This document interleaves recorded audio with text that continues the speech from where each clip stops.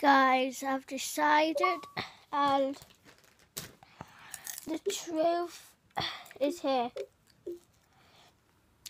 Because you guys are saying mean stuff in the comments down below and I don't appreciate that.